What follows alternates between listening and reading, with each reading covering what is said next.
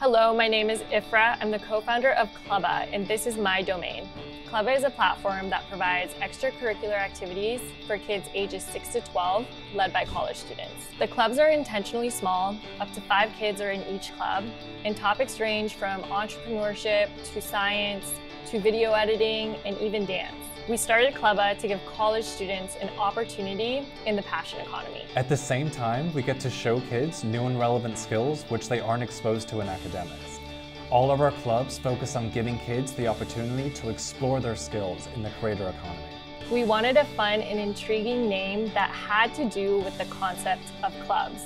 Since Clubba relies on people inviting their friends to the app, we wanted a short domain name that could easily be shared. We chose clubba.app so people could share their personalized invite links. When you get to the link, it does exactly what it says in the domain name. It takes you to a page to download the app with an invite promo code. We also have a .dev domain, which we use for beta testing some of our new products and features. It's great, because if we have a group of beta testers who are looking at the live production site, we can just tell them to change the TLD to see what we're thinking of changing.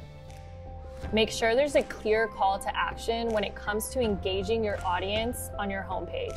For example, you can offer a free trial when your visitor signs up. You can get your own .app domain at get.app. And your .dev domain at get.dev.